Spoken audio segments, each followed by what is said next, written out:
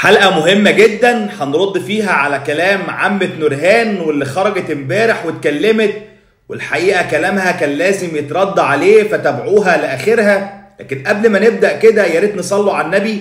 ما تنسوش ال like وال share والمتابعة ولو حضرتك لأول مرة بتنورني أتمنى تعمل اشتراك دلوقتي وتفعل الجرس عشان يجيلك كل جديد. ويلا بينا نبدأ مع أخوكم أنا أحمد الحكيم.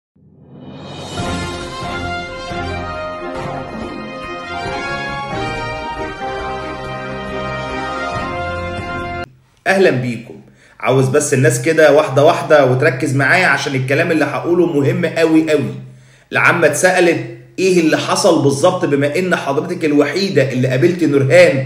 هنا العمة وصفت نورهان شكليا وقالت مش هي دي الإنسانة الجميلة اللي كانت عايشة معانا وكانت خاسة وبتقول أعيش ليه بعد أمي وإنها مش مصدقة إن أمها ماتت. مش زي ما أنتوا بتقولوا عديمة الإحساس ومتبلدة المشاعر واللي طالع عليها إنها بتقول ما حصلش ما عملتش حاجة والكلام ده اتقال لي من اتنين من زمايلها وبتصحى مفزوعة كل يوم. ده كلام العامة. وسؤالي هي إزاي هتشوف زميلتها؟ أقصد إن المقابلة مش بتبقى جوه الحجز بتبقى بره. يعني مش هتشوف زميلتها. كمان الكلام ده قالته هايدي في البداية خالص. اتسألت كمان. أول سؤال سألته لها أنا قلت لها طمنيني أنا مش مصدقة كل اللي اتقال عنك. أنت ليكي يد في موت أمك. فالبنت قالت والله والله ما عملت حاجة. أنا ما وقفتش على موت أمي. هو الباب خبط وطلعت أشوف مين كان هو قتلها. طب هنا العمه اختصرت المشهد كله وكلامها صح بالمناسبة لأن الكلام ده جاني في التحقيقات. الباب خبط وطلعت المجرمة تشوف مين؟ طلع لقت أخوها أحمد. الكلام ده حصل إمتى بقى؟ كلامنا للعامة. وأنا عايز أقول لحضرتك إن المشهد ده بيثبت تورطها في القتل مش بينفيه حضرتك مش ملاحظة إنها كانت في المشهد ده حرة؟ يعني خرجت وسابت الواد جوه وكانت تقدر تفتح الباب وتصرخ. هنا كانت الأم لسه عايشة. لو عايزة تنقذها كانت استغلت اللحظة دي لكنها طلعت ومسحت الدم بتاع أمها بدم بارد منها. وتعالي نرجع لورا شوية قبل أمها ما تموت. بنت أخوكي فتحت له الباب وشاورت له على أوضة أمها وكانت غالية المية. واديتها له دلقها على وش أمها. واديت له السكينة واديت له الإزازة. ولما الباب خبط مسحت الدم وأخدت كل الحاجات اللي تم استخدامها في الجريمة مع المجرم وخبوها وضللت البوليس يومين. هل دي ما عملتش حاجة؟ حضرتك بعد كده بتقولي قالت لها سيبها وأنا هقول إن أنا اللي عملت فيها كده وإن الولد كان بيبص لها ونظرات الشر في عينيه. أكيد أي حد مكانها هيبقى خايف. وأنا رديت عليكي. المشهد دليل على إنها لو عايزة تنقذ أمها هتنقذها.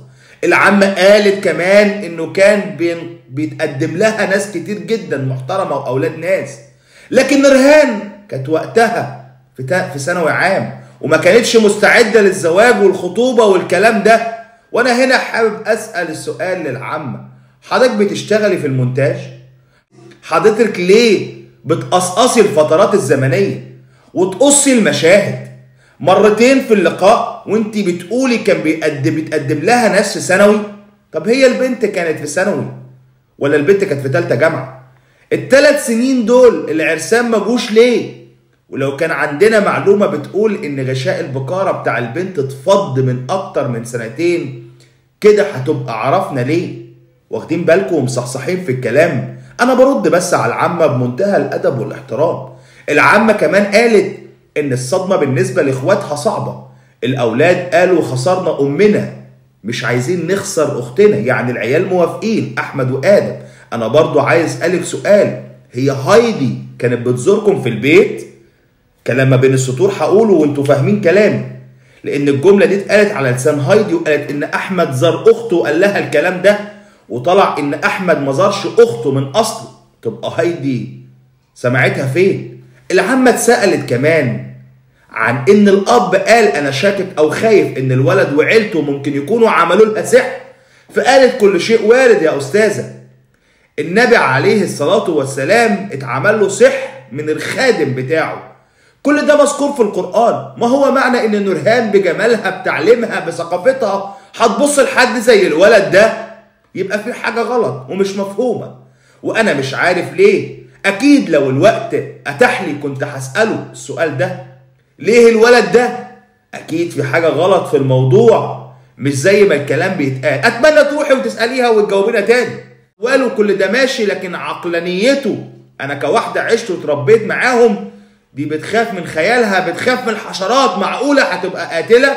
أنا الحقيقة مش قد قدرة العم على المونتاج ده بصراحة. هي هنا كانت بتتكلم عن علاقة البنت بحسين ومنتجت الكلام ودخلت في سكة إن البنت بتخاف وصعب تبقى قاتلة. وبرضه قالت لو أتيحت الفرصة وقالت لو أتيحت الفرصة هسألها وإن الاقوال ماشي. طب يا حاجة حضرتك آه، يعني أتيحت ليك الفرصة. حضرتك قلتي إنك زرتيها مرتين تقريبا وتقريبا الجملة دي بتعني إنه ممكن يكون أكتر من مرتين لكن خلينا نقول ان هم مرتين. إحنا أمام قضية ديت ما عندناش غير سؤالين لو أي حد شاف نورهان هيسألهم. وهم ليه قتلتي أمك؟ وإيه علاقتك أو ليه علاقتك بحسين؟ يعني لو في كل يوم زيارة سؤال كنت ارتحتي وريحتينا. وبعدين حضرتك كنت بتزوريها ليه؟ لما ما سألتهاش.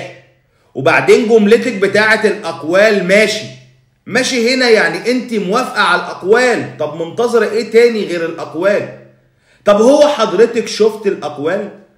كلامك بيقول شفتيها. طب إيه رأيك في موضوع الفوطة؟ عرفت اللغز فين يا فندم؟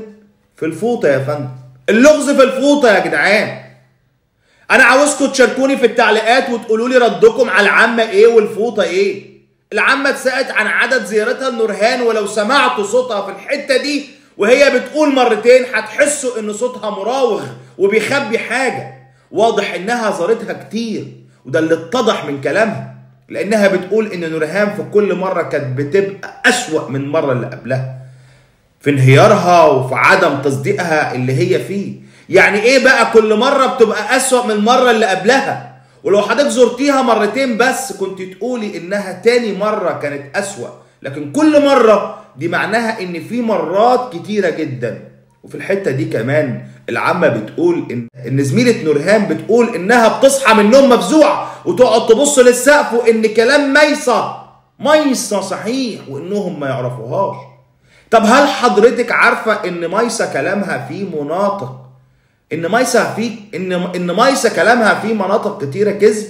أبسط حاجة إن ميسة قالت إنها سألت نورهان وقالت لها أنت ليكي تسجيلات في التليفون بتقول انك كذا وكذا.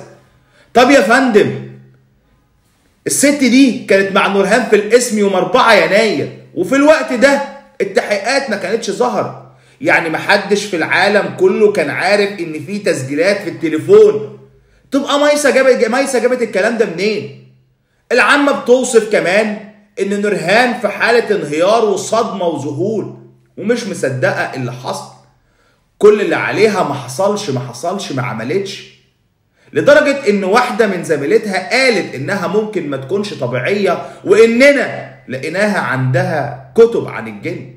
وأنا هرد على جزئية الكتب دي النهاردة في البث المباشر الساعة 10 دي في ردود على الأب لأن الأب كمان قال نفس الجزئية. لكن تعالى لنقطة تانية هو الانهيار ده ما ظهرش ليه في المحكمة؟ لما شافت عساكر وقضاة ومحكمة وقفص ما انهارتش ليه؟ كمان العامة بتقول إن نورهان قالت إن غلطتها إنها فتحت الباب وإنها قال لها أنا جاي أتكلم مع أمك وإن الأم كانت شايفاه لا يصلح لبنتها. هي شايفة بنتها تستاهل إيه؟ وإن هي رفضته وهو اتضايق من رفضها ليه؟ يعني العامة هنا عايزة تفهمنا إن حسين اتقدم عشان يطلب إيد البنت مثلا فالأم رفضت. طب أنا والله محرج أقول إن الكلام ده مش حقيقي. هو حضرتك نسيتي إن نورهان مخطوبة؟ أيوه يا فندم مخطوبة من ثلاث شهور بس المونتاج قص الحتة دي. طب بتقولي إن هي غلطانة عشان فتحت الباب؟ طب يا فندم إديني عقلك شوية كده وهرجعهولك تاني. المجرم ده كان جايب خشبة ومطرقة وهو جاي يقنع الأم إنها توافق عليه. يعني هو داخل يقنعها في أوضة النوم. هي أساسا البنت كانت بتشاور له على أوضة أمها وهي نايمة جوه عشان يدخل يصحيها وبالمرة يقنعها. طب نفترض جدلا طب نفترض جدلا إن دخل للأم عشان يصحيها وضربها. والبنت مش عارفة إن ده هيحصل. هنا الولد جاب السكينة والإزازة من المطبخ إزاي؟ ولو هو لو راح يجيبهم كانت الأم هربت. ولو فضل ماسك الأم يبقى البنت هي اللي جابتهم له قولا واحدا. وفي نهاية اللقاء العامة بتتمنى تفهم تتمنى تفهم الحلقة الغامضة وتتمنى إعادة التحقيق. وبرضه نقطة إعادة التحقيق أنا هرد عليها وأنا بتكلم عن الأب. كمان هي بتقول إن حسين هو القاتل وبتطالب بإعدامه. وأنا في النهاية بطلب منكم آرائكم في كلام العامة وفي النقط اللي اثرتها لو في مناطق أنا قصرت فيها في الرد يا ريت تبعتوا لي تصححوا لي المناطق دي. ولحد هنا وخلصت حلقتنا.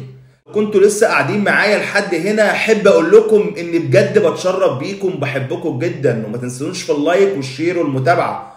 ولو حضرتك لسه بتتابعني لأول مرة أتمنى ما تنساش تعمل اشتراك في القناة وتفعل الجرس عشان يجيلك كل جديد. أسيبكم في رعاية الله وأمنه. كان معاكم أخوكم أخوكم أحمد الحكيم. وانتظروني النهارده في بث مباشر الساعة 10 مساء بإذن الله بتوقيت جمهورية مصر العربية. هنرد فيه على العم وهنناقش مع بعض كل التفاصيل الجديدة في الحلقة المفقودة في القضية. سلام عليكم ورحمة الله وبركاته.